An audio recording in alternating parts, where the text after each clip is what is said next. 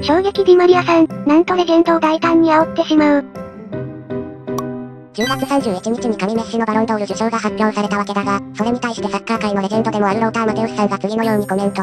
私にとってハーランドより優れた選手はいなかった。過去12ヶ月では彼が最高だ。シティでビッグタイトルを獲得したしゴール記録も達成した。この投票は茶番だ。そして私はいつだってメッシの大ファンだった。これに対してディマリアさんが次のように反応し話題に。別の場所で泣こう。クソ煽っててはロタ。ディマリア。面白い。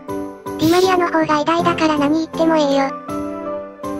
マテウス、バイエルン関連のコメント見てても思うけどいつも的外れよな。マテウスって何か嫌われてるな。